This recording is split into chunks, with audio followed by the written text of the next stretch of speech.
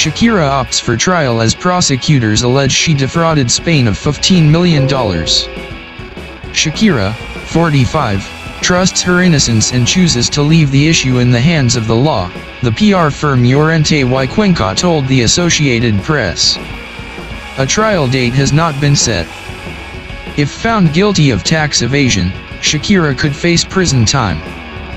Back in 2018, the Spanish government charged Shakira, claiming she failed to pay 14.5 million euros, $15 million, in income earned between 2012 and 2014.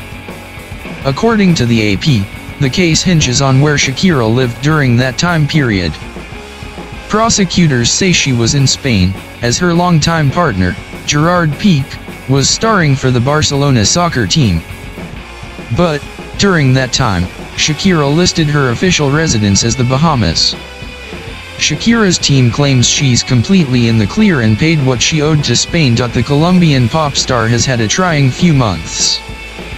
Not only has she opted to go to trial, but she and Gerard ended their 11-year relationship amid rumors of infidelity.